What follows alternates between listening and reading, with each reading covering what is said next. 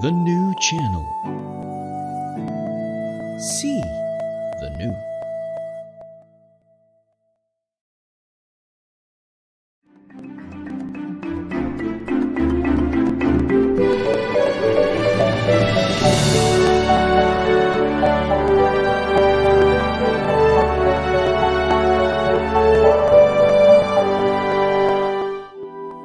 The new channel. See the new.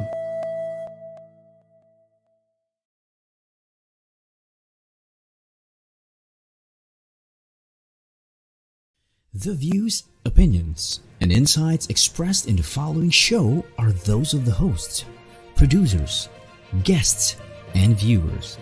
They do not necessarily reflect the position of the channel. Viewer discretion is advised. Hello and welcome to the new channel, your daily source of live stream inspiration. My name is Lloyd Luna. This is the big picture.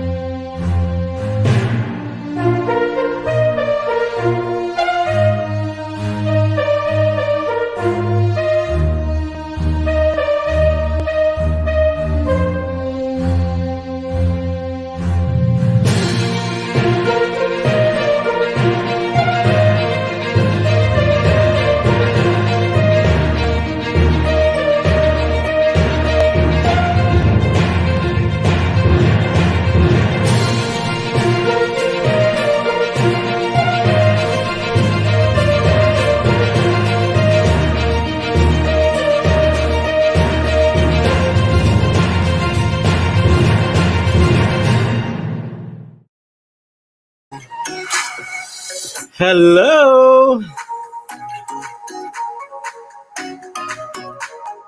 Magandang gabi, Pilipinas. Luzon, Visayas, Mindanao. At kung nasan lupalop man po kayo ng mundo, magandang gabi.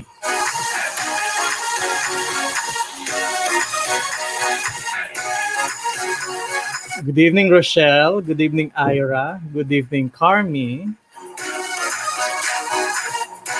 Ating mga maagang stream viewers.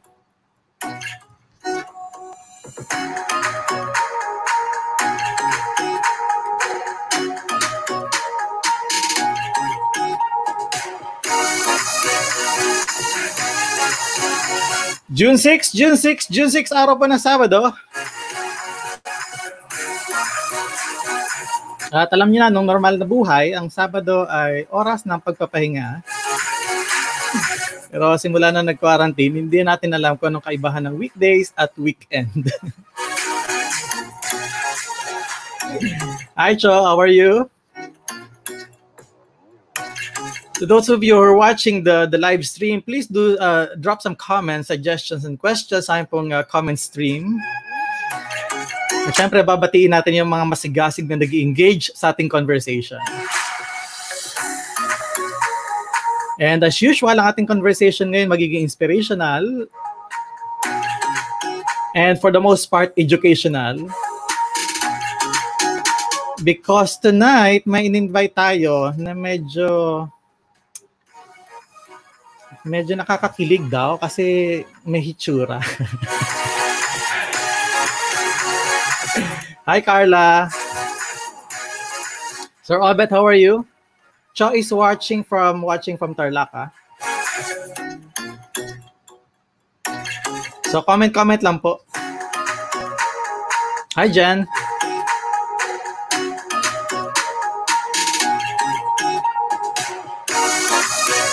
So uh, tonight we will be uh, inspired by our guest. And also, we're going to, to explore some opportunities dun sa ating topic ngayon, which is actually the business of language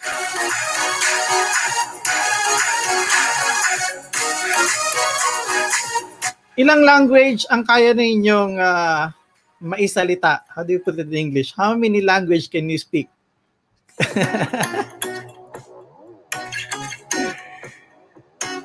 I was very, very young back then, about uh, maybe 16, 17 years ago, when my mentor asked me about language, something about language.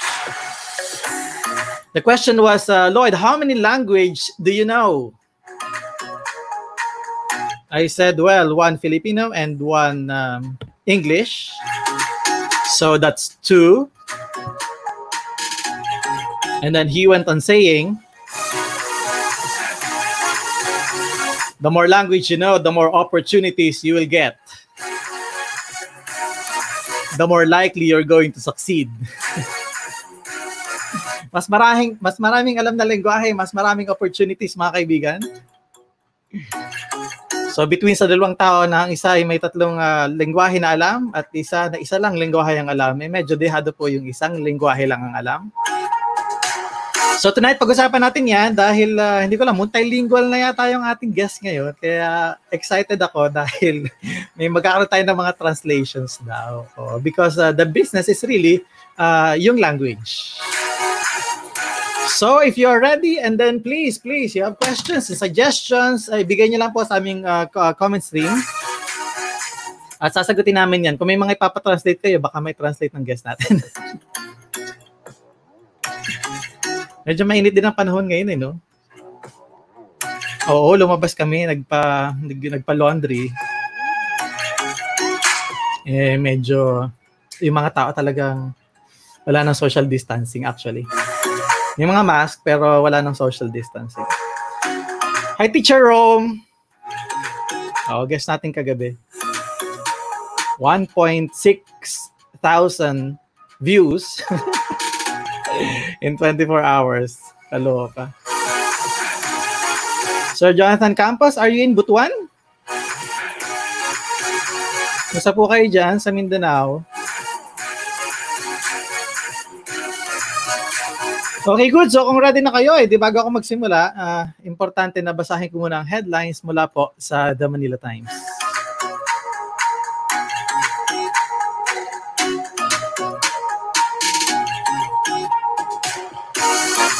Duterte livid over compensation delay.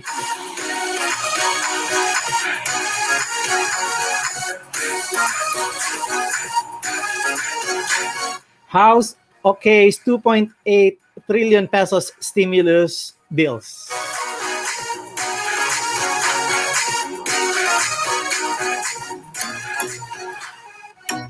COVID leaves 7.3 million Filipinos unemployed.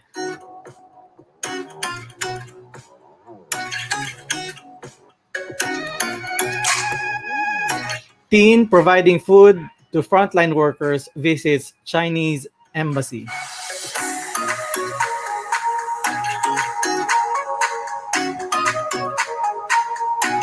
Anti-terror bill protests danger to health, according to PNP.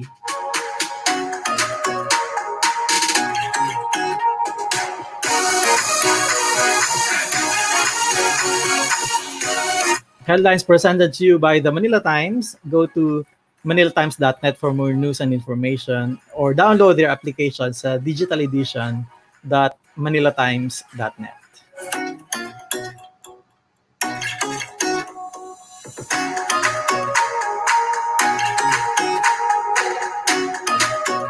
Sige, kung excited na kayo, edi uh, papasukin na natin yung guest.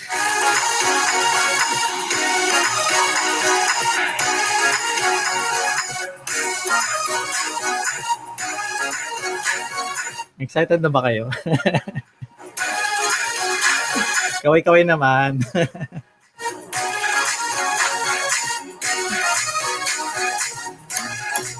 Excited ako kasi baka mapalaban ako ng English. Kaya kinakabahan talaga ako ngayon. Pagka hindi ko na kaya mag-English, uh, we're going to pause for a very short commercial break.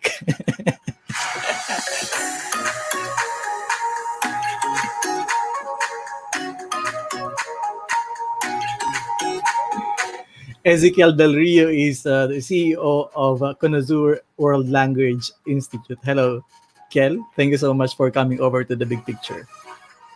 Hi. Hi, Lloyd. Ni hao. Wan hao. Kwa. Kita mo, nag-umpisa na. Ilan, Yeah. ilan na kagad yun? How many languages? Ah, dalawa. That? Dalawa. Kita mo, may. Hindi pa nag-uumpisa, nagpa, nagpasalamat pa lang. But thank you so much for coming over to the big picture. We're honored to have you here.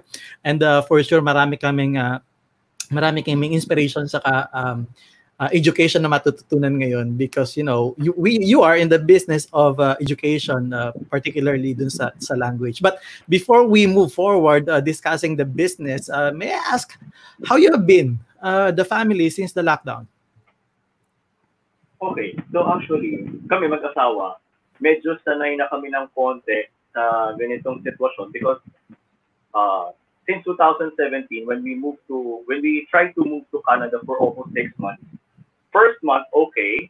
And then no mga second month to the sixth month, may pagka-lockdown yung feeling ng dating kasi parang may pagka-vacation type yung nangyari. No? The only thing, the only difference is that the difference of this lockdown is instead na nakakulong ka lang sa bahay, the marketplace is also not that easy to sell anymore compared to the previous compared to the previous time.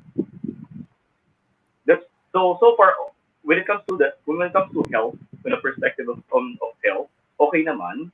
And then when it comes to business, well, it, it's a bit challenging than it was before, realistically. So that's the reason why sabi nga nila, we need to pivot, di ba?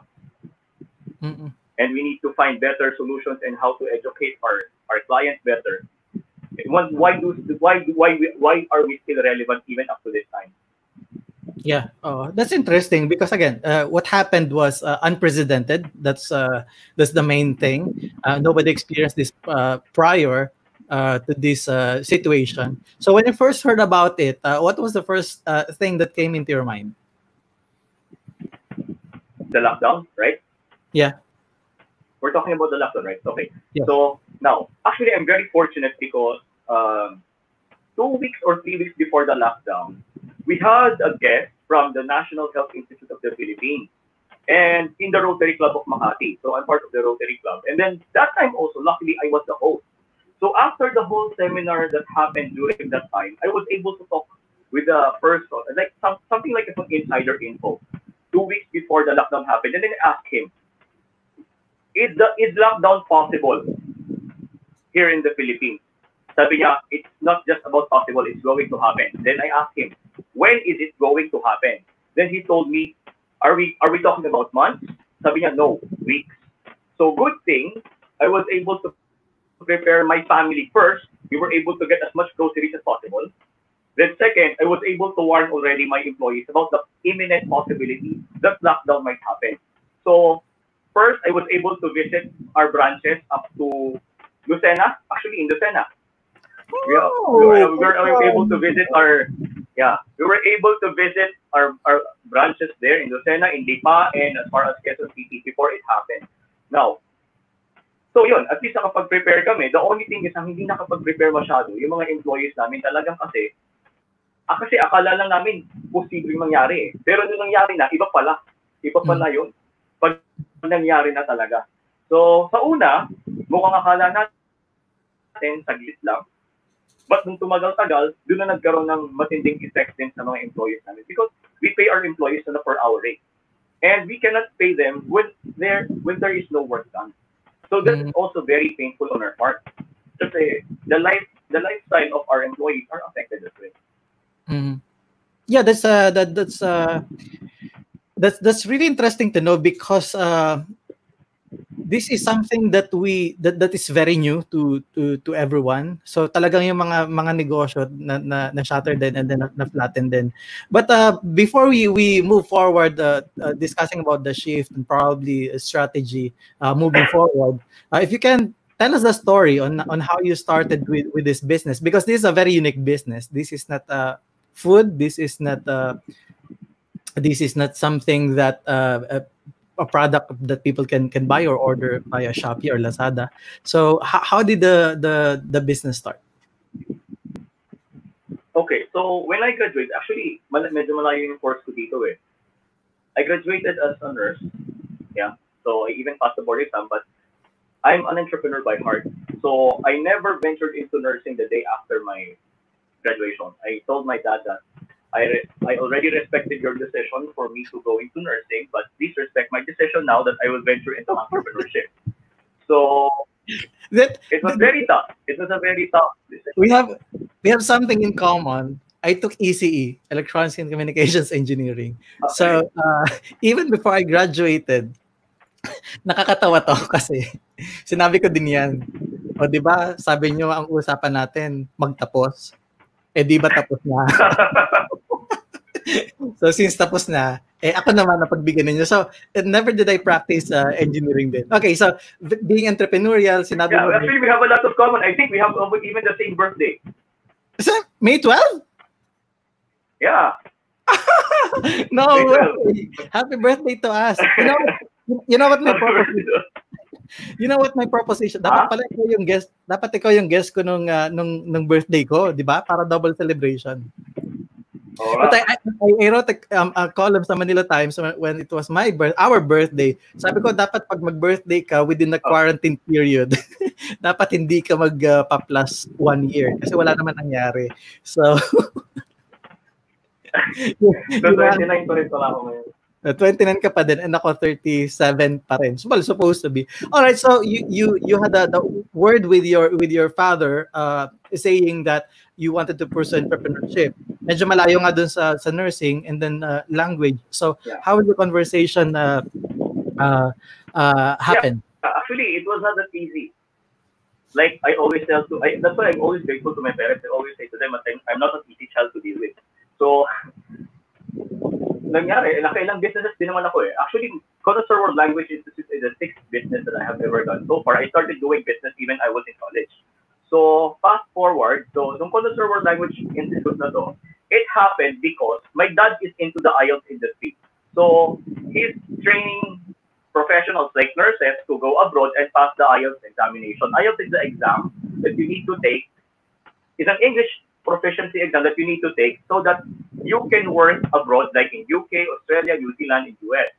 So that time, around 2011, the year I graduated, nagkaroon ng demand ang Quebec, Canada. So Quebec needed at least as much as 10,000 nurses. Now, and the only thing is they needed to speak French.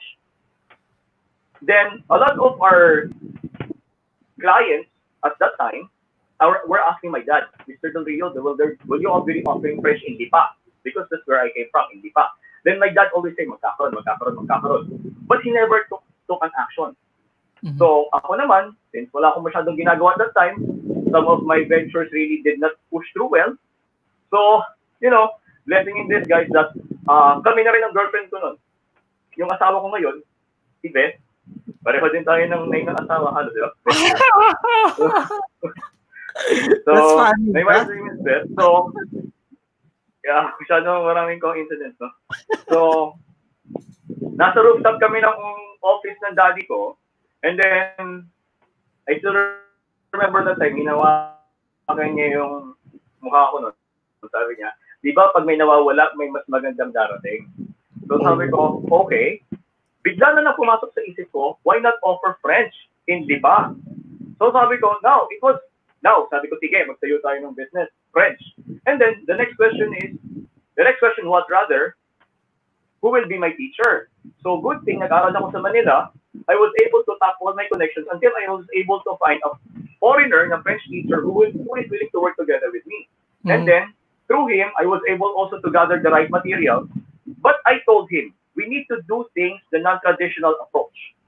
So like, for example, just to take, tell, tell you something, Quebec needs people to work there and they need to speak French. But the only thing is the deadline is at less, less than in one year. And the proficiency they need is at least 7 out of 10. Hindi madali yun. Kasi sa UP, for them to produce with that level of proficiency, they need at least 3 years. My competitor, Alliance Française, they need to have at least 3 to 4 years of French language training before they attain that level. You know what I told my teachers? We need to produce that in less than six months. Sabi sa akin ng French teachers ko, you're crazy. Sabi ko, buti na lang napanood ko yung uh, commercial ni Steve Jobs. Yeah, what was the commercial? Uh, yeah, sabi nila, the crazy ones are the ones who like become successful in which, I mean, massively shake the world. So, I was about, that's what, I was about, that's, I was I was about to say that yeah, you're crazy. I mean, if I were uh, uh, if I were there, I would have say, said the same thing. You're crazy. But but that was the first in in Batangas, particularly in in Lipa. Yung in-offer mo? Yeah, it's the first in Lipa. It's the first ever in Southern Luzon. Oh. And the actually competitors went there after two years nung na-realize nila why bakit naglilipatan yung ibang mga French teachers nila sa akin? Una, mas mataas kami magpasweldo. Number two, marami kami estudyante. Like normally, a French training center, nagkakaroon ng, nagkakaroon lang sila ng mga estudyante pa ilan-ilan. Like lima, sampu. Pero yung mga teachers ko, nung lumipat sila sa akin, nagulat sila, ilan estudyante ko sa'yo? 40? 50? Uh, I mean, like ah, a, pa yung umaga, iba pa yung sa gabi. Yeah, I mean it's like a a class, uh, a normal normal class sa isang sa isang school, 'di ba? 40 to 50 students isang session. Yeah. So, nagsimula kami doon, yung branch namin sa Lipa, and then nung nang lumakas na kami, nagkaroon kami ng Cebu. In less than a year. Nagkaroon kami ng Cebu and in some in Espanya also. So, ganun, ganun nangyari. Now, the sad thing is, after two years, yung demand ng Quebec, nag-iba. So, sabi ko, Lord naman, tuloy-tuloy na yung success, tapos ito na naman tayo, challenge na naman. Pero yung pala, dinala niya ako sa mas maganda. Okay, So, nasa ano yung mas maganda? maganda? Yes? Yeah, nasan yung mas maganda? Okay. So, sabi ko, kasi before pala, nung graduate ako, nasabi ko lang ng konti.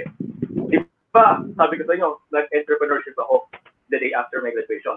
So, ano yung reason ko para payagan ako ng magulang ko? Ang ginawa ko, di ba that time, 2011 pababa, sikat na sikat ang business ng Nursing Review Center. Yes. So, three months before I graduated, I sealed a deal from a branch in Manila to franchise it in Tiba.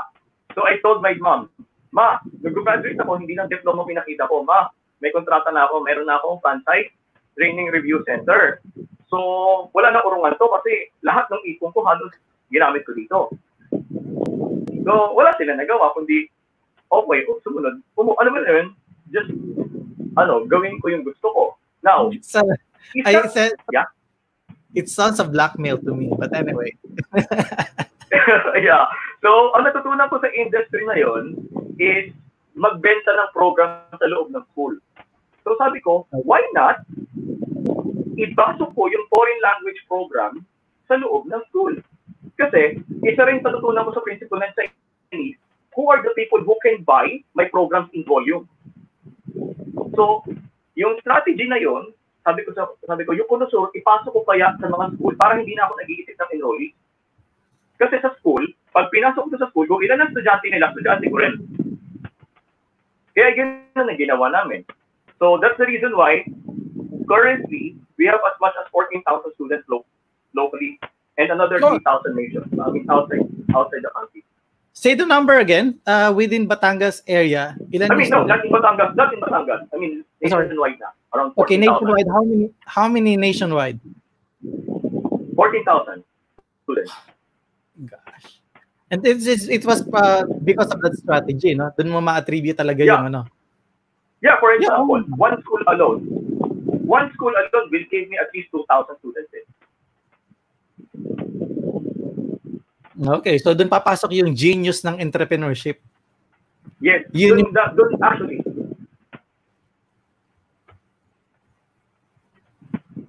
Yeah, you were saying? Yeah, oo. So doon doon papasok yung ah, yung talaga parang inkling mo doon sa entrepreneurship kasi nga hindi ka pwede doon sa magtatrabaho ka or magre-report ka sa isang boss kasi you cannot probably uh, baka hindi ka papaniwalaan ng boss mo kapag ka sinabi mo na ganyan strategy, no? But since you were your own boss, Yeah. na hindi syempre ga- kaya mo na gawin lahat. Okay. So uh, that, it's, it's interesting. Uh, and ano yung ano yung mga challenges uh, naman noon because you know, syempre hindi naman porke alam natin yung strategy ay mag-work na agad. So when you were starting talking to school probably, what were the initial challenges uh, that you faced uh, putting up the, the the business or executing the strategy? Yeah. Thank you, Lloyd. That's a very good question. Actually, tama ka dun yung una mong sinabi kanina. Di ba? Para sa akin kasi, the reason why I enter into entrepreneurship, isa lang na-realize sa buhay ng sobrang aga that I'm very so grateful. I'm so I'm very much grateful. Walang stable sa buhay. You go to employment anytime your boss can fire you. You go to business, I mean, market forces can go against your business. So, na-realize ko nung maaga na wala naman pala stable sa buhay. So, why not just do the thing that I really love most? Diba? So, that's the first reason. And then, yung strategy na ginawa ko so that I can future-proof myself is I studied French. I studied French when we are when we are on our first two years of business. And then, dumating sa point na na-realize ko how powerful a foreign language is. Narinig ko kanina, sinabi mo kanina sa audience natin, that foreign language open rare opportunities that only a foreign language speaker can open. Totoo yun. For example, not all Filipino knows, not all Filipino know that if you know how to speak French, Mandarin, Spanish, German, Italian, Portuguese, Korean, or Nihongo here in the Philippines, kahit pa 18 years old ka, kahit hindi ka tapos ng college, you are cemented with a six-figure income. You just need to go to knock on the doors of the BPO, where? In Alabang, in Quezon City, in Makati, and even in Cebu. There are BPOs like that. And what's the beauty? Here, right now, here in the Philippines. Dahil nag-lockdown, itong mga BPO na to, versado na silang kumuha ng employees kahit nasan ka because they allow now work from home. So actually, the working environment for foreign language speakers even become better while receiving a minimum of six-figure income while inside their house. Now, how did I say that this is a very good strategy? Kapag alam mo sa sarili mo na kahit ano mangyari sa'yo, you can go back to unemployment with a six-figure income, and in a matter of three or four months, you can bounce back again with a very good capital. What's to worry about if you already have a high-level value of skill? So, yun ang ginawa ko. Kumbaga, yeah. Yeah. yeah. I mean, exactly. Kung na-acquire mo na, hindi naman makukuha na sa'yo kasi na-acquire mo na. So practically, you're just increasing your chances uh, to succeed at, uh, at any given opportunity, di ba? Correct. So, mm-hmm. di ba, ang, ang naging challenge ko kasi nung unang-una, I was only 21 at that time. So, oh. yung itsura ko, batang-bata na uh, parang, una, bakit mo ako pagkakatiwalaan? Sino ba itong kausap ko?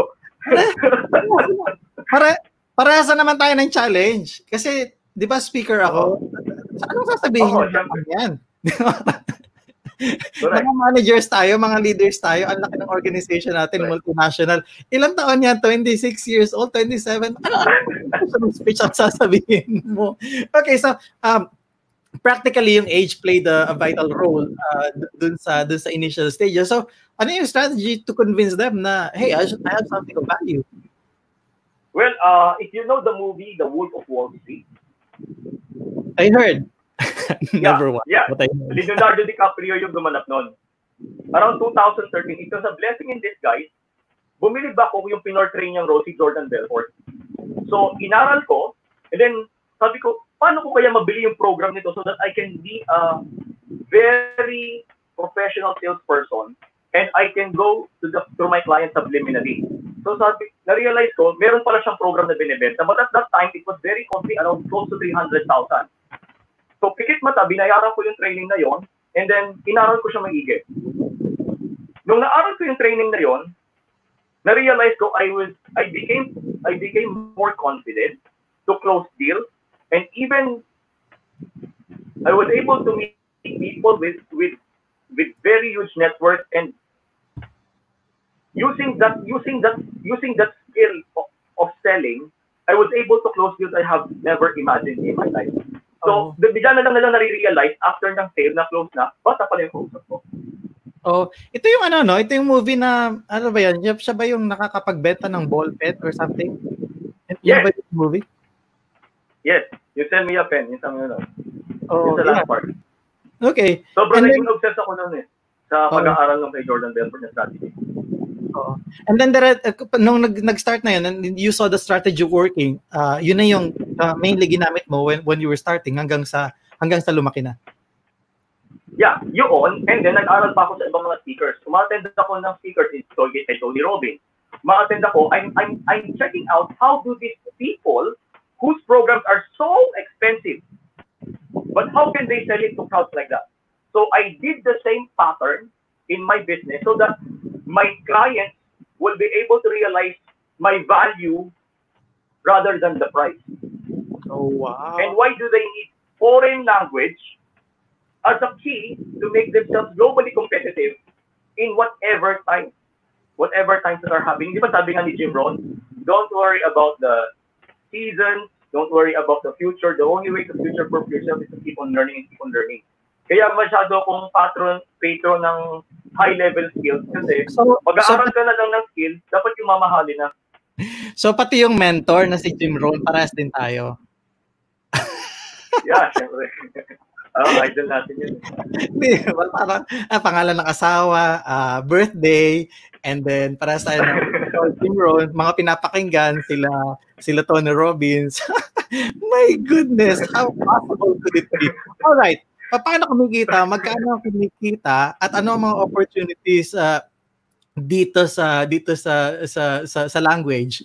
Sasagutin mo 'yan kapag ka bumalik na ang the big picture. So magko-commercial muna ako. Huwag kayong aalis. Marvin Weng, hello. Franny, Alian Barcelona, hello. Ah, Eileen, Romina, nakita ko din dito kanina sino pa nandito kanina.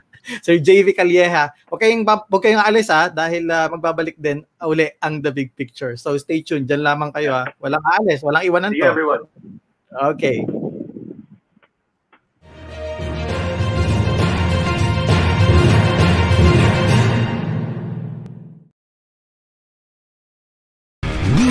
Beauty every day. We need power every day. Are you ready? Ready? Ready. Beauty is power.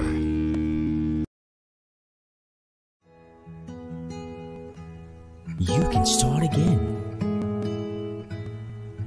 We know about your struggle. But you're not alone.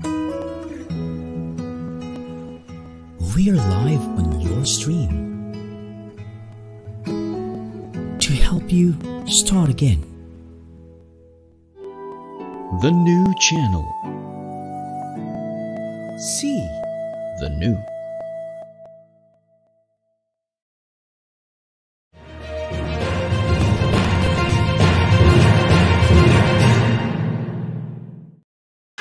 All right, welcome back. You're still watching The Big Picture on the new channel. With me is uh, Ezekiel Del Rio. Siya po ang may-ari ng La- World Language uh, Institute. Ayan, Franny Marina is watching from Dubai. Oh, kumusta ang mga tao dyan sa Dubai? Feeling ko, okay lang ba kayo dyan? Nandiyan ang kapatid ko. so Franny, kumusta? Anong, anong lagay dyan sa, sa Dubai? Mag-comments naman kayo. Ah, pinapasabi ni Alian Barcelona na kumusta daw. Congratulations daw ah, sa ating guest ngayon. Again, Gabriel Billy Dominguez ay napadaan sa ating stream. At siya po ay magi-guest ah, sa ating season 3 opening ng The Big Picture. So ano yan, jump pack yan kasi lima po sila galing sa BNI Makati Genesis. And Gian is watching and po ang ating ah, ah, 30 under 30 uh, Forbes Magazine. Nasa listahan po si Gian Scotty Havilona. Elmar is also watching. Hi, how are you, brother? I miss you. Ah, hindi tagal nating hindi na nagkikita ha. Okay. Anyway, sige. So ibabalik ko ang ating ah, napakalaking big time, napakalaki at ah, big time big time big time na guest, ah, Ezekiel Kiel ah, Del Rio. Hi. Okay. Um congrats daw sabi ni Ian ah, sa sa iyo. Hi, thank you, Ian.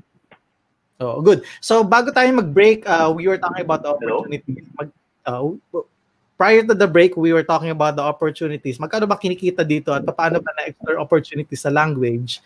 Uh, pero bago mo sagutin yan, ilang ilang language ang alam mong isalita? Tama ba yung Tagalog ko? How many language can you speak? Okay. Uh, So what I'm proficient at is French. Yeah. Je peux parler français. I can speak French. So that's the first language that I mastered. And then Mandarin is currently still under construction. so yeah, I'm still learning Mandarin at the moment. I, I like that uh, under construction thing. Okay, so uh, yeah, a bit of uh, an example of uh, French. Yung common lang ah. Sige, so ako ang sasabihin ko sa sa English, mas madali ba 'yon from English to French or Tagalog and then French? Hello? Oo.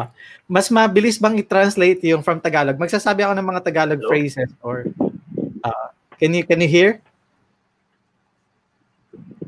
Can you hear me? Hello, Lloyd? Oo. I, I'm still here, so if you can hear me, say I. Uh, naglalag lang. ah, naglalag Ay, lang. ay, ay, yeah, yeah. Okay, Ay, I. Okay, good. Robinson. you recognize na talaga Tony Robbins. ah. If you like, eh, you say I. Yeah, okay, good. So, you can hear me na, clearly. Okay, clearly. Okay. Ma- is it easier to translate from from uh, Filipino Tagalog to French or English to French? I'm going to say some some sentences. English, And you English translate- to French na lang. Mas madali. Okay, Kasi English like, there are some Tagalog words that are there, there's no direct translation to English. Okay, good. So English to uh, English to French. Mga nanonood sa atin ngayon sa ating stream, please kung meron kayong gusto ipa-translate ngayon, ilagay niyo sa comment, babasahin natin tapos ipapa-translate ko kay kay Kiel. Okay. So Lloyd Duna is a very handsome person. Ah, Lloyd Luna is très beau. Totoo ba 'yon? Bakit parang pinutol mo? Lloyd Luna is très, très beau. I'll just speak slowly. Oh, hi to my sister there. Show sister. Yeah. So, Lloyd Luna is très beau. So, Lloyd Luna is est, très, very, beau is handsome. Okay.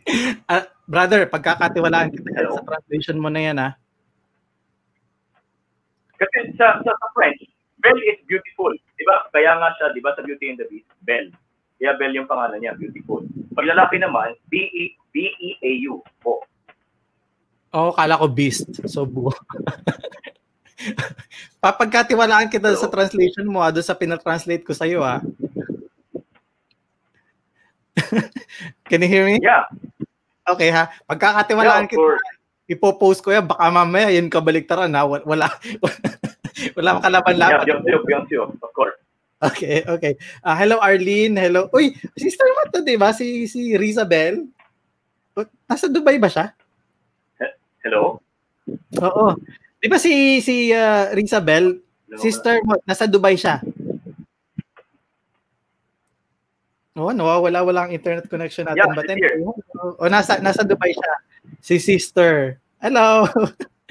ano pang ginagawa niya sa Dubai? Ba't hindi pa bumabalik dito sa Pilipinas? Sorry, hello? Hello? Oo. Can you hear me or Wait. naglalag? Oo, sige. Oo, sige. Anyway, sige. So ibabalik natin mamaya si si Kiel sa sa studio. Ah, medyo nagkakaroon lang tayo ng difficulties sa internet connection. Kung kayo po may mga tanong at may mga reaction, edi uh, pakipost lang po dito sa ating dito sa ating stream. Opportunities in language. Mas marami kang language na alam, mas marami kang opportunities. Yan yung sinabi sa akin ng mentor ko more than 15 years ago. Sige, uh, Owi, papatranslate natin yan. Let's all watch the new channel. Sige, mamaya papatranslate natin. Mas marami kang lingwaheng alam, mas marami kang opportunity. So if you are going to enroll yourself trying to learn a new language and then bagong opportunity yon. Now, once na malaman mo na at na alam mo na kung paano magsalita, hindi na mababawi sa iyo yan. So sabi kanina ni Kiel, mas naging maganda yung business nila ng ganito kasi ikaw yung hindi ikaw yung possible na hindi mo wala ng trabaho. Now remember the headline kanina, uh, 7.3 million katao na po yung nawawala ng trabaho. Ngayon, yung sinasabi niya kanina na yung marunong mag-translate, ha, yung maraming alam na lengguwahe, eh mukhang kayo yung uh, kailangan-kailangan, especially din ngayon, kumbaga parang hindi kayo mawawalan kung yun ang skill na meron kayo.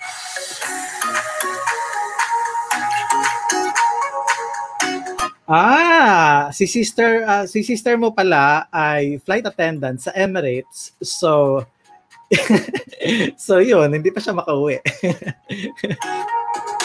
Hi, Mick. Oo, ang masaya, masaya dyan. Nasaan ka nanonood?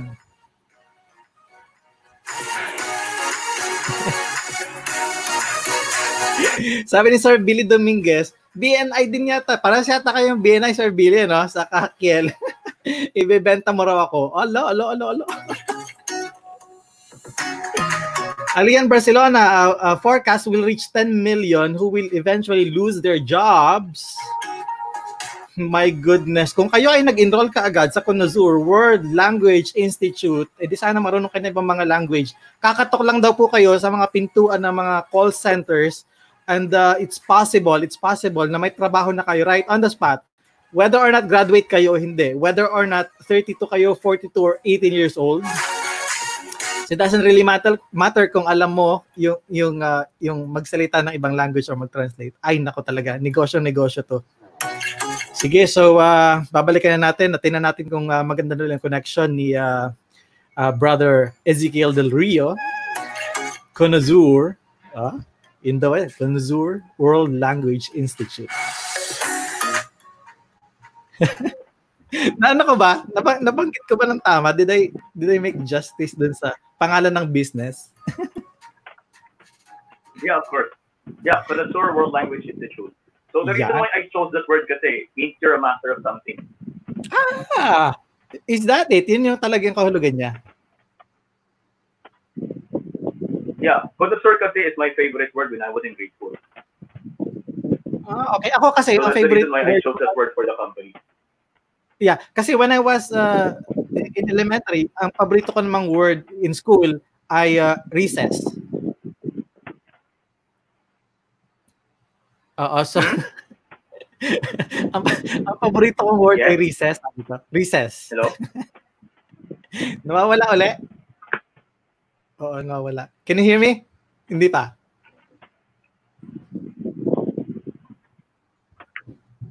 Or no? Ah, recess. Okay. Ah. Nung, okay. nung ano, nung, nung high school ako, medyo nagus- nagustuhan ko rin yung word na yan. Actually, hindi lang recess, pati lunch. Kasi yung lunch mas mahaba. Yung recess, maikli lang. Sa bagay, 15 Yes, minutes. I can hear you. Yes, okay, good.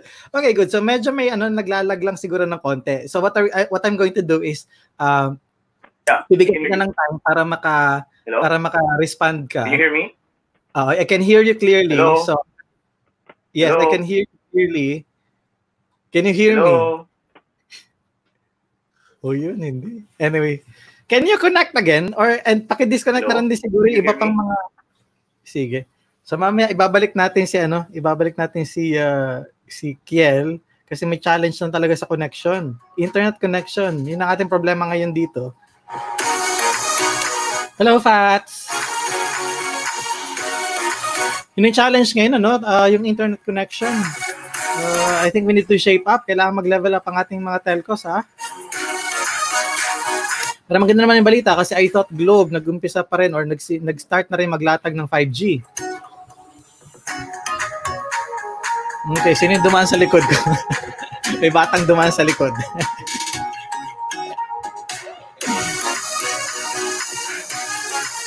Okay, opportunity sa language. I-try natin uling ibalik si Kiel at tingnan natin kung maganda na yung connection. Uh, hopefully maganda na dahil uh, maganda yung topic natin ngayon eh. Di ba? Okay. Uh, Kiel, are you there? Ah, blank screen. Ay, dito sa kabila. blank screen. Sige, tatry natin yung link connect ha. I-reconnect natin. Oo, yan. Papasok siya uli. So, try natin papasukin uli. Oo nga. Ah, ano na ang palayaw mo? Maria Rizabel Del Rio. Meron kang palayaw eh. Kasi when you went to, to our office, ah, ano nga ba? Maris! Maris! Oo, Maris ang, pang, ang palayaw mo. Yan, naalala ko na. Maris. Maria Rizabel Del Rio is Maris. Okay. Paano naman kami pupunta diyan? Ah, meron bang complimentary seat diyan sa ano sa sa Emirates? Oh, kasi na doble yata yung pamasahe. Hindi ko ma- 'di ba? Na doble kasi yung social distancing. Kung meron kang complimentary ticket, pupunta kami ni Pucholo dyan. Sige, sabay kami. Magpupunta kami dyan. Okay, ito na natin ibalik si Kiel. ah. Kiel, can you hear me now? Loud and Yes, clear? hi, I can hear you. Okay. Yes, thank okay, you, Lord, for waiting and for the audience for understanding the challenges when it comes to our internet connection here in our country. Oo nga naman, oo, talaga naman. Challenge naman talaga lahat. But anyway, better na yung connection mo. Uh, so, pwede na tayo siguro mag-discuss ulit. May delay lang ng konti, no? Siguro kung mayroon ka pang mga naka-open na application at uh, nakakonect sa internet ng mga device, makakatulong siguro kung magbabawas tayong device. Okay, so sabi ni Maris, uh, magpunta ako ng Dubai. Sabay na tayo siguro. sabay na tayo. Sabay na kami ni kapatid mo at saka ni Pocholo. Oo. Uh, tapos si Franny daw ay maganda maganda raw ang topic today. So ilalagay ko yung comment para makita mo. Um, magandang topic today, pwedeng mapakinabangan ng mga OFWs, especially yung mga Arabic speakers. Nag-offer ba kayo ng Arabic? Hindi pa. Yeah, we have actually Arabic language translation. The, the only thing is it's very, very rare. Compared hmm. to Mandarin, French, Spanish, Nihongo, and Korean. Oo, so sige. So, Sir Billy is here. Oo nga, nandiyan eh. Sabi niya, may big five kasi siyang papasabog sa Monday. Lima sila sa isang show. So, can you imagine, pupunin niya yung studio natin. Ibang klase talaga. Anyway, so Franny, umuwi ka na dito tapos mag-aral ka ng language dito sa Conozur dahil uh, sigurado naman yun, di ba? Meron bang, meron bang nag-aral ng language na nawala ng trabaho? I mean, yung hindi siya talaga nakakita at naghirap siya? Well, actually, if you just study the language just for fun and you only study it on a basic level, well, wala mangyayari talaga. You need to study the language at least on a level of 7 out of 10 so that you can find the right employment opportunity. So like, for example, an employer will not hire someone who only knows a ba- basic, basic, di ba? So mm. dapat you must know at least that I mean, even in the marketplace, the reward the, the marketplace does not reward mediocrity. So you either be beyond average or even excellent, di ba? So, uh-huh. ganun dapat yung level na ma-attain ng isang foreign language speaker. So, that's the reason why we always say at least you must attain an advanced le- intermediate level to a connoisseur level. Connoisseur level is the expert level that we are saying. Okay, so yun na yung yun na yung synonym ngayon ng expert. Connoisseur. Yeah, connoisseur. Di ba ang connoisseur yung pag uminom ka ng alak, alam mo kung ano yung edad, alam mo kung anong cask nilagay yan, uh-huh. ano mo alam kung ang klaseng ubas ginamit yan. Just by even inhaling or sipping it. So mm-hmm. that's the reason why we named connoisseur after that. From the cask of Amontillado of Edgar Allan Poe. Oh, wow. Poetic din, no? May may may kinalaman sa ano, sa poetry. But anyway, so uh, gaano nakukuha, gaano kabilis makuha yung uh, above average? Okay, if we are talking about European languages, European Romantic languages such as Spanish, French, Italian, Portuguese, kaya namin yan in 4 to 6 months. 4 to 6 months? Only, yeah, allotting only at least 8 hours per week. 8 hours per week. Oh, so madi-divide pa yun per day, no? Yeah, at least 4 hours per day. 3 to 4 hours per day. So that will be at least 2 to 3 sessions per week. Wow. Okay, good. And then uh, almost ready ka na noon, ha? Kapag ka natapos mo yung uh, Yeah, actually yung... you're employ employable na for with that skill. And then ang pinagkaiba kasi namin, after taking a foreign language with us, you need to certify yourself with a foreign language proficiency. 'Di ba? How can we say we are really like for example, accountant accountancy ang kung accountancy ang course mo. How can you really say that you are really a professional accountant? You must pass the CPA board exam. So the same thing with the foreign language industry you need to certify your foreign language and this certification must be honored all over the globe. Like for example, if someone will challenge me, Monsieur Ezekiel, pourquoi vous pouvez parler français? Why do you say you can speak French? Have, uh, est-ce que vous avez une certification? So, if someone will challenge me, I will say, oui, j'ai passé l'examen test d'évaluation du français. If someone will challenge me, I will say, yes, I have passed an exam called test d'évaluation du français, which evaluates my test, my French language proficiency, and this is checked in Paris, France. So I'm almost as equivalent as a native speaker. And this certification is honored all over the globe. So the rest, the rest ng mga estudyante namin, dapat mag-take ng exam na yon. Para pag pumunta ka sa BPO, yung HR, hindi ka na halos interviewin. It even saves the time of the HR. Because yeah, may credential baka, ka na. Baka hindi ka na interviewin kasi baka i-French mo siya eh, kung hindi siya marunong mag-French. Yeah, actually, marami estudyante namin na wiwindang sa mga salary na ino-offer sa kanila. Dati, like for example, as a nurse, dumaan ako sa point, kaya lagi ko sinasabi, mag-aaral ka na lang ng skill, dapat mamahali na. I have huge respect to for to our to our to my fellow nur, fellow nurses. The only thing is dahil nagkaroon ng oversupply noong 2011 kaya hindi ako nagpunta sa nursing. Bumaba yung value ng nursing sobra that even it comes to a point na hindi na zero yung salary nila. Negative pa. Why do I say negative? Kami pa ang nagbabayad sa employer para lang pumasok kami. So sabi ko, bakit ako papasok sa ganung profession? 'Di ba? Yeah. I'm just very practical. Money is very important. Is money is might, might not be the most important thing in life, but it's very essential. You cannot say I love you to Meralco to pay your bills. You need you need the money to pay for that. So, 'di ba? And hindi hindi ako makakapag-date niyan kapag lagi na lang ako manghihingi sa daddy ko. So that's the reason why I decided to went into enter, to uh, to go to entrepreneurship Mm-mm, oo. because uh, at that point yung profession na kung saan kung anong kung saan ako graduate na profession has currently no market value at that time. So nung na-realize ko na mag-aaral lang pala ako ng isang skill, six figure na, eh, nag- sabi ko nga, buti na lang, hindi ko nalaman yan nung high school ako. Kasi baka 18 years old pa lang, nagkatrabaho na ako. Hindi ka na magka-college for sure. Hindi na ako mag-aaral. Oo. But it, it's it's good kasi nga doon sa doon sa six months na 8 hours per week at least ah nakuha mo na kaagad yun. And we're talking about, again, hindi natin binibelittle or minamalit naman yung ibang courses. For sure, may mga functions sila. But if this is Of something course. that you're interested naman talaga uh, of learning about, and then uh, maganda rin tong ruta na to. In fact, kahit naman saan ka mapuntang uh, profession, di ba? I mean, Correct. But ano profession mo, language is universal. So, di ba, magagamit mo pa din. In fact, advantage mo yun kung uh, multi-language ka nga. Oh, sorry, multi-language ang tawag doon. Multilingual. Multilingual, okay. Good. Correct. Actually, tama ka doon. You know what? Meron ako mayor ng isang province. Nag-aral sa akin ng Mandarin. Why? Kasi meron siyang malaking kontrata with the Chinese. Meron ako dalawang doktor sa St. Luke's. Nag-aral kasi marami silang Chinese na kliyente. Meron din akong accounting student kasi hawak ko ang De La Salle, di ba? So meron akong accounting student na ang first offer sa kanya, kahit hindi pa siya pumapasa ng board, is a whopping 85,000 Wow. the day after her graduation. Dahil meron siyang isa pang Just alam before- na language. Yes, kasi nagkataon, ay, meron din akong linkages sa mga companies. Kasi Mhm. meron akong nilaunch na end-to-end program. I know Ian Ian even supported me at that time. That's I'm very grateful for with him, for him. So, nagkaroon ako ng job fair sa Lipa and then pinapunta ko lahat ng BPO. Kasi nag namahagi ako ng flyer sa Lipa that time. And then sabi ni Mayor, ano tong binebenta mo? Networking? Scam ba to? Ganito kalaki sweldo? Wala naman sweldo sa networking. Sabi, may mayor naman. Wala, Wala naman sa masama. networking.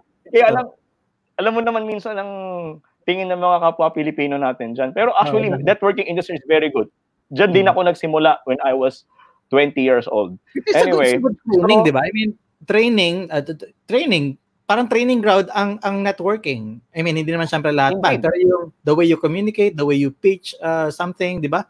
The way you uh, uh, uh, deal with people. So, okay din naman yan. So, anong anong Yes, reaction of course, ng definitely. job fair? So, uh, after the job fair, So, doon, na-realize sa mga tagalipa kasi pinagtinawag ko lahat ng HR sa harap, sa harap eh, sa stage. So, lahat, you know, sabi ko, sabihin nyo lahat magkano offer nyo if they can speak a foreign language. Sabi nila, anyone here who can speak pa- Spanish, sign up bonus, 120,000.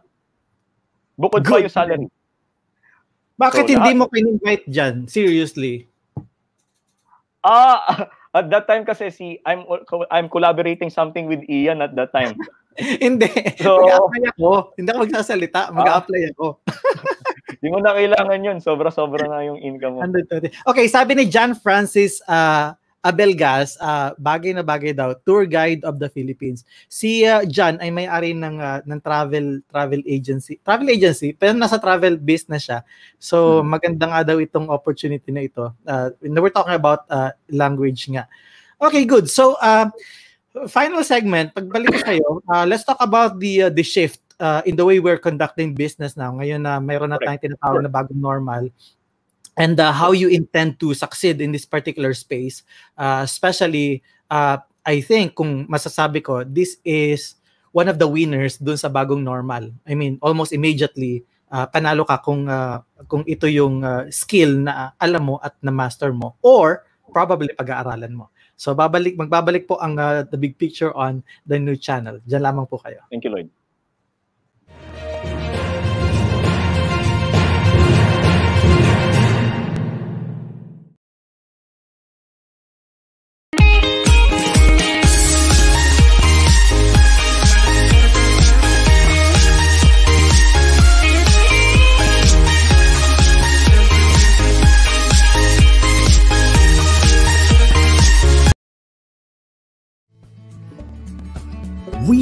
Rise as one. Leave the pain behind. For the future is bright. Know that we are here to help you rise again. The new channel. See the new.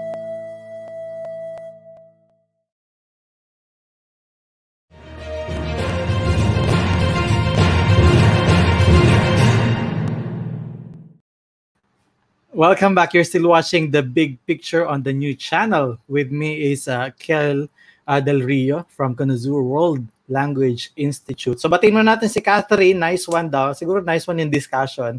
Maraming salamat sa mga nanonood. Ah. Pwede niyo pa pong i-share yung ating uh, live stream ngayon para marami ding maka, makarinig at uh, marami ring matuto ngayon dahil itong final segment natin talagang uh, magiging inter- magiging maganda ito. Ayoko na sabi interesting. Ah, uh, nasa naman nakailang interesting na ba ako ngayong araw na to? yung kasi yung word ko, eh, last time walo and then naging anim na. Hindi ko alam kung ilang interesting na yung nasasabi ko ngayon. But uh, ibabalik, parang hindi pa ako makapagsabi ng interesting. So ibabalik ko na si Kiel. Uh, baka sakaling masave niya ako. Ano ang ang ang French sa interesting? Ang tehe song. Ang tehe song. Okay, I-N-T-E-R-R-E-S-A-N-T. Okay, sige. Balik ako sa interesting. Actually, yeah, actually maraming words na ing, ang English kasi at French, galing yan sa Latin. Maraming words sa French na kapareho ng spelling sa English. Magkaiba lang pronunciation. Like for example, excellent. Excellent. Oh, Same spelling. oo. Excellent. Yung sound, no? Yung sound na babago. Expression. Expression. Oo. Oo. Okay, good. Okay, sige. So, yung shift, pag-usapan natin yung shift. Kasi, uh, di ba nasa uh, old normal, you were in the the classroom, and then may mga students, and then they, they teach. Mhm. Physical to, di ba? And now, meron tayo, Yeah. meron tayong social distancing and things like that. Uh, how do you Mhm. see the shift in the way we uh, educate uh, our clients? Actually, medyo challenging to sa mga kliyente ko. Sa amin, hindi masyado. Why did I say this? Kasi ito na-anticipate ko na na posible talaga mangyari to. 'Di ba? madalas pinag-uusapan tong artificial intelligence, online platform. Even 3, 4 years or even 5 years ago, sabi nila kapag ang business mo wala sa online, you will be out of business soon. So, matagal ko na siyang na-anticipate. So, even 3 years ago, I made an online platform for Connoisseur World Language Institute. So, we have these pre-recorded programs that our clients can access so that they don't need to pay the per hour cost of our teachers. Now, dun sa mga client naman na may budget, meron tayong live Zoom or Messenger class, meron one-on-one, one-on-two, and then up to one-on-six. One to six students. Hmm. So, meron tayong live class na the only thing is they need to pay our teacher on a per hour basis. And mind you, medyo expensive talaga yung mga programs namin when it comes to one-on-one kasi dalawa lang pwede mong kuning teacher, hindi magaling o magaling. And I need to make sure our brand is very Gra- good. Grabe, ah, hindi um, stream viewers natin na hindi na kayo malilito doon. Ang ino-offer nila, mamimili ka sa mamimili ka lang sa dalawa at wala yung isa doon sa pamimilian, wala sa connoisseur. So wala kayo ibang choice kundi magkano more or less ano yung range na kailangang ibayad for uh, for a six month uh, one on one or one on two?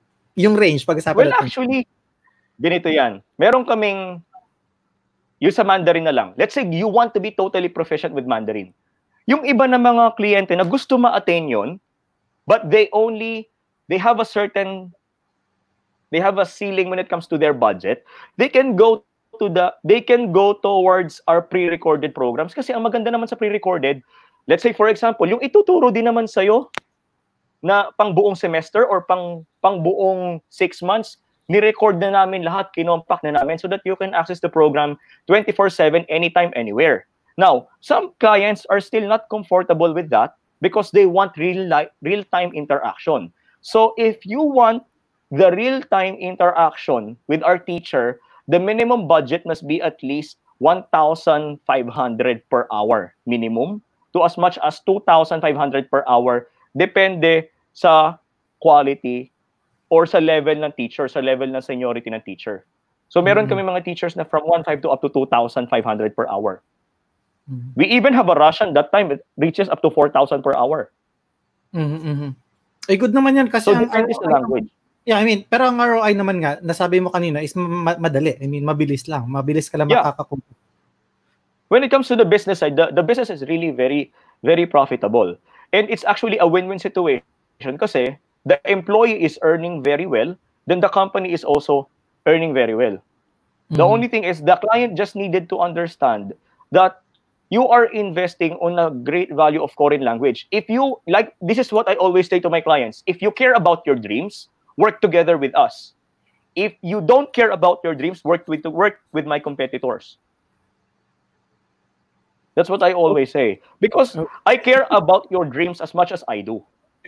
Yeah, for sure. And uh, uh, I'm sure genuine naman yan kasi doon ka talaga nag-start. And I mean, be an entrepreneur, yeah. alam natin lahat that this is not all about money. Uh, this is uh, the value that we can bring to the marketplace. Jim Rohn, boom. Correct. Tama yon. Kasi gusto kong matulog na nabago ko yung buhay mo at instead na murahin mo ako, nagalit ka sa programs ko, nagpasalamat ka kasi nabago ko yung buhay mo. That's the reason why we always make sure that our programs are of highest standard. The only thing oh. is, parang Louis Vuitton, they need to match it with the right price. Yeah, so it's it's practically uh, a fair exchange of value lang naman, 'di ba? Uh, if, if you need yeah. quality, you have to pay. I mean, people should pay for quality. Uh, sabi nga 'di ba sa bakit bakit 60,000, 70,000 ng isang MacBook Air, 'di ba? Eh di sige kasi hindi namin magagawa ito nang hindi 70,000, 'di ba? Uh, uh, uh, find something else. Correct. Tama yun. Hindi yun, yung, hindi yun yung presyo. Okay. Uh, Ma'am Merly, hello. Good evening. Uh, Sir John, pa-connect daw. Hindi ko lang kung pa-connect. Uh, Josh from Tarlac, uh, Joy Tala, hello. How are you? Uh, Catherine, how are you? Okay. Uh, mag-comment lang po kayo saka mag mag-like lang kayo diyan saka magbigay ng mga reaction diyan sa ating stream kung kailangan ninyo or kung meron kayong gustong ipaabot. But uh, how do you see it now? I mean, uh, meron ka bang nakikita na uh, kasi nga kung wala na yung physical uh, schooling, uh, meron naman kayong ino-offer na, na pwede lang i-access uh, online. Kung hindi sila confident, one-on-one Zoom. Pero paano yung Oo. physical structure uh, when it comes to uh, your business? Ano ang mangyayari doon sa mga classrooms mo? Actually, uh, yung office naman kasi namin is just for pure operational purposes. Yung classrooms talaga namin happen inside the premises of our clients. For example, di ba? Like, for example, De La Salle, they're our clients. So, nangy- doon nangyayari yun sa classroom nila. Now, matagal ko na rin sinasabi to sa mga clients ko that actually, online is a very powerful way to learn. Kasi sa China na lang, Korea, yung pinoprovide namin ng online language training for almost three years, we have been getting great feedbacks from our clients there. So natuto nakita namin natututo talaga sa estudyante namin and hindi magre-renew ang kliyente namin doon. And they will not even be pay they will not be paying us as much as 3,000 every 25 minutes if we are not doing very well when it comes to that. So yung yung live training when it comes to foreign language is really really beneficial. And then meron kaming nilo-launch. Actually, I cannot say too much about this Imagine someone who can teach you 24/7 anytime anywhere and you can interact with this na itong certain thing na to sobrang haba ng pasensya.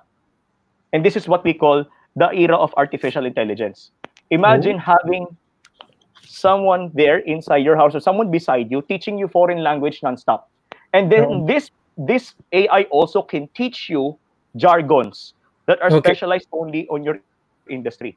Oy, Kel, Not all hindi, teachers can do that. hindi marunong magalit ang AI mo yan na yan, ha? Pasensyoso Of yan. ah. Oo. Uh, the, vo- the, the voice that we have chosen is a female voice na malambing yung boses. Kaya hindi, hindi ano yun. Baka naman makatulog ako, Ken. Ah, hindi naman. Uh, Hindi yun, naman. actually, we have chosen the AI as a teacher assistant, not to replace our teachers, but rather to work together with our teachers. Di ba sabi namin, you can learn the foreign language in six months? With the help of an AI, we can we we are looking forward na to reduce as much as three months na lang. Kasi meron So- ka ng kadaldalan eh. Yeah, and and besides, uh, ina-analyze na rin ng AI yung mismong uh, uh, parang level ng conversation ninyo. Nag-adjust yung AI base doon sa sa facing ng pagkatuto ng uh, client. Yes, actually, yun ang maganda din dito. It's very personalized.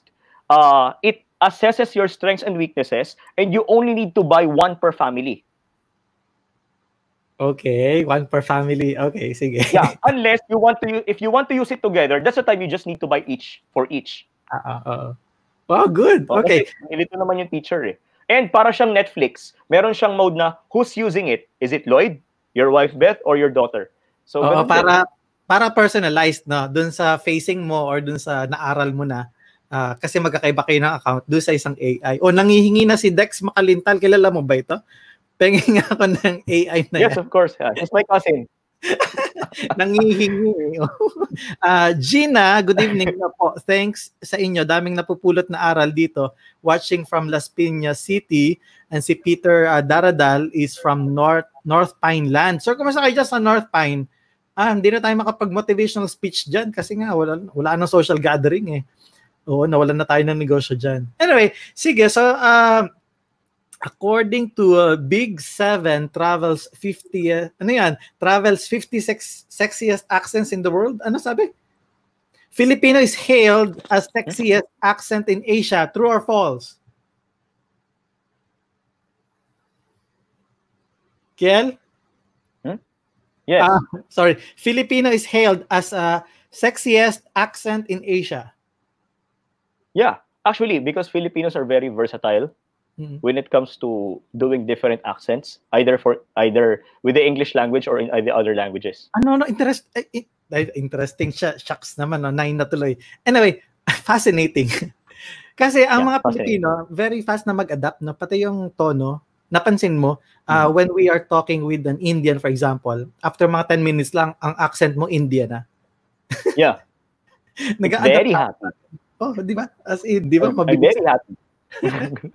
Okay, hello Sir Jesse, maraming salamat sa sa, sa pagtutok. Okay, so last question, um bago kita pakawalan at bago may ibigay yung mga details na kailangan lang puntahan kung interested sila dito sa sa business mo if they want to enroll, this is actually a perfect time to enroll. Ah, pwede na ba pag-enroll yung aking uh, six-year-old? Yes, actually, we have the pre-recorded platform if your daughter wants that. So the pre-recorded platform is much cheaper because again, you don't need to pay the per, per hour and then the whole mm-hmm. family can even access it. So as low as 5,000 and if you want to whole, get the whole program, you can get it instead of 80,000, you you get as much as 30,000 na lang. Okay. The whole program na. If you study the whole program, in less than 2 to 3 months you will become proficient in Mandarin and even pass the proficiency exam. Oh, and safe pa 'yon kasi social distancing ka. Sa magtuturo Yes, sa'yo. actually, yun, the, yeah, the challenge lang talaga sa ngayon is yung kliyente ko. Kasi ang kliyente ko, ang challenge sa kanila, di ba, yung mga estudyante natin sa schools, hindi naman lahat may access pa ngayon sa internet. Hindi lahat may sariling laptop. Oy, And alam then, the another, Alam mo, nagkaroon Yes. ako ng idea. Bakit hindi ka magawa ng show dito sa TNC about language? Di ba, producer Apple, mag-agree ka nga. Ngayon ko lang naisip ito ah, kasi pwede Okay. siyang maging learning platform if you want to target nga ah, yung ah, yung client mo. But anyway, pag-usapan natin backstage yan. Okay, so ah, Okay. before I let you go, my question normally kapag ka, ah, natatapos bago matapos yung show sa sa guest ko is sa lahat ng nangyayari ngayon people are still anxious, some people are still disoriented, some people are are afraid kasi baka mawalan sila ng trabaho, uh, things like that. So, what's the big picture? Ano ang the out of this pandemic uh, crisis situation, ano yung big picture na nakikita mo na possibly hindi nakikita ng iba as an entrepreneur? okay. So, number one, we need to change our lens so that we can have a different perspective on what's happening. then we need to manage more ourselves, our emotions sa mga nangyayari. Kasi ako, kahit personally, nitong mga nakaraang araw, it's also a big challenge on our part. Kasi ako, as a company, yung company namin, matagal na kami nag-adapt sa ganitong pangyayari. But the, what's not adapt, I mean, our clients are the one who's in the process of adapting pa lang. So, yun yung nagiging challenge din sa amin. So, we are looking forward that on the upcoming months, makapag-adapt na yung kliyente namin sa new normal para mag-meet halfway na kami. So, the big picture here is keep on, keep on learning high-level skills. Like, for example, aside from foreign language, I also know how to do Forex. So, at least, sa mga bakanting oras natin, wag nating sayangin yung oras na nanonood lang ng Netflix or kung ano-anong ginagawa. Read as much as books as we can. Be voracious when it comes to learning. At least one skill a day or a week, one high-level skill for in a week will be very, very good because you don't know when will you able to use it. So that's the big picture here. We need to anticipate the worst thing and prepare for the worst thing mentally so that in case this really happens, kaya natin i-address and then instead of instead of contracting, let's find a way to expand for ourselves further by asking ourselves like for example, kung ito talaga yung pangarap natin, wag nating i-downsize para lang mag-match mag-match at maabot natin. At least make our make your dreams still as big as like that and continue asking ourselves before we sleep give ourselves a subconscious command like how can i still achieve this despite what's happening? So that at the end of the day the solution the solution will arrive. Mm-hmm. good. Wow. That's yeah, a motivational so keep on pressing forward. that's a motivational speech right there kel Thank you. Di ba motivational speech na 'yon? Okay, so how do they get get in touch with you? Uh, they want to enroll, uh, they they want to get your online classes. Uh, saan sila magpupunta para ma-reach out ka? Well, uh, actually you can contact me directly if you have questions. Sige, so I'm very hands-on. Do you want me Yeah. to uh, to write your uh, your number here? So uh, can you dictate it? Yeah, yeah. It's 0917 Mhm. 325 325 0228 0228. 0228 and then our num our email is admin at cwl institute.com C and then our official W oh, sorry cwl Institute. Kasi tutuldok, Dot com. nahuli tuloy ako na nagtututuldok lang, hindi proper Yeah. yung ano ko. admin at cwl institute.com and i have three websites to share Mm-mm. So the official website that we have where you can know more about our services is www.cwliglobal.com. cwliglobal.com. And then for Mandarin, so we have www.cwlinstitute.com. And then for Korean, dun sa mga nanonood ng Korean ngayon, lalo na lockdown, para at least maintindihan nyo yung Korean Yeah. language, that yung Philip ang pagtuturo namin dito sa Korean language is ano, Taglish. So maiintindihan nyo. Maintindihan nyo maigi. So www.cwli-korean.com. Com. So yun yung mga tatlong website na pwede nyong ma-access Mm-mm. so that you can maximize your time, energy, and your resources, especially right now during the lockdown. Maraming job opportunities na naghihintay ngayon, six-figure income opportunities while you are inside your house. So wag nyo sanang palampasin to to grow yourself. Okay, interesting discussion, no? Nakakasampung interesting na ako, pero this is a great discussion na lang. Yeah. great discussion lang. Okay, uh, thank you so much for coming over to the show, uh, Kiel. Really an honor to have you and uh, have this conversation with you tonight. And I'm sure maraming na-inspired dun sa story mo. And uh, syempre, na-motivate mo pa sila, bonus na lang yun. At the same time, we're able to introduce yung importance ng language. Uh, vis-a-vis yung opportunity that they can actually make out of learning the high skill uh, high skill uh, something the, yung high skill na sinasabi mo kanina Yeah. uh, because worth naman talaga yung investment especially ngayon nga na kung nasa bahay lang tayo it will be a really really helpful ano uh, tips yung mga binigay mo so thank you so much Ezekiel Del Rio Yeah. Thank you, Lloyd. Have a wonderful evening. God bless everyone. More success. Okay. Oh, baliktad na naman ako. Parang parang gusto kong maging host kasi kaya napipindot ko yung si Kiel. Tapos ako yung bigla, para ko yung guest, ako yung nawala. anyway, sige. Maraming salamat ulit. Ibinalik kita. Welcome. All right. So, maraming salamat sa ating guest ngayon. Nag-enjoy ba kayo ngayong gabing ito? Uy, sabihin niyo naman nag-enjoy kayo kasi uh, maganda. Actually, may nakalimutan lang ako. Hindi ko na pa-translate sa kanya sa French yung uh, thank you so much for watching the new channel. Ah, baka pwede ko siyang ibalik. Nandito pa siya sa studio. Tatawagin ko ulit, ha? Ibabalik ko. Kailan niya ka pa? Kailan niya ka pa? Pa-translate naman sa French. Uh, thank you for watching uh, the new channel. Merci beaucoup tout le monde pour regarder le nouveau chaîne. Oh. Que Dieu vous bénisse toujours. God bless everyone. Okay. So yun na, di ba? Nagpaalam na ako.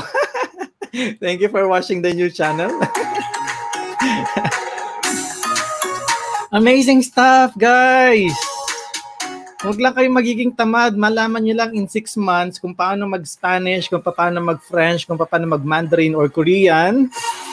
Oh, six-figure income daw. Kahit na kayo hindi pa nakakapagtapos ng pag-aaral, at kahit na ano pa man ang edad ninyo or gender ninyo, sa bahay lang daw po kayo. Kung marunong kayo na mga magsalita ng language na ito, hindi po kayo magugutom. 7.3 million people are now out of jobs. Go get in touch with Conazur World Language Institute sa mga website and contact details po na ibinigay nila dito sa atin during the program. Magbigay din po kayo ng comments ninyo kung may mga questions kayo. Uh, yung ating live stream will be is recorded always live. So maglagay lang po kayo ng mga comments ninyo dyan sa stream. Mababalikan pa po natin yan. This is your The Big Picture on the new channel. Maraming salamat uh, Puzzle Box BPO Inc. Ating pong presenter ng show. BPO Puzzle Box uh, BPO. Puzzle Box BPO Inc. Gutom na kasi. Puzzle Box BPO Inc. is uh, a BPO, business parts outsourcing company na pwede pong makatulong sa inyo. Kung wala na po kayong taong mabigyan ng sweldo, dahil mahal mag-maintain ng mga tao. So outsource nyo po sa kanila yung paggawa ng website or pag-maintain ng yung social media. Or if you want to amplify your your sales using uh, social media, punta po kayo sa puzzlebox-inc.com or email po ninyo si Apple sa apple at puzzlebox-inc.com. Maraming salamat din Unisol, uh, Luluran, uh, Telepreneur, mga, mga sponsors natin, uh, Step Back, uh, PAPS at saka Creative Voices sa inyo pong walang sawang pagsuporta sa aming TBP or yung The Big Picture. So hanggang sa lunes, Sunday po bukas, meron tayong uh, Holy Mass at saka Christian Services bukas po dito sa TNC. Hintayin nyo lang po yung link uh, kung saan nyo mapapanood yung ating misa at yung ating live stream Christian service. Ako po si Lloyd Luna. This is The Big Picture on the new channel. See you on Monday because ito po yung ating last episode, season finale, season 2 ng, ng season 2 ng TVP. So season opening, grand season opening po sa Monday ng The Big Picture. Wag po kayong mawawala. Ah, Monday po, alas 7 ng gabi. Maraming maraming salamat sa panonood at patuloy na pagtutok sa The New Channel. Ito po si Lloyd Luna uli sa The Big Picture. Stay cool, stay safe, and always, always stay blessed. Bye-bye, everyone. Thanks for watching.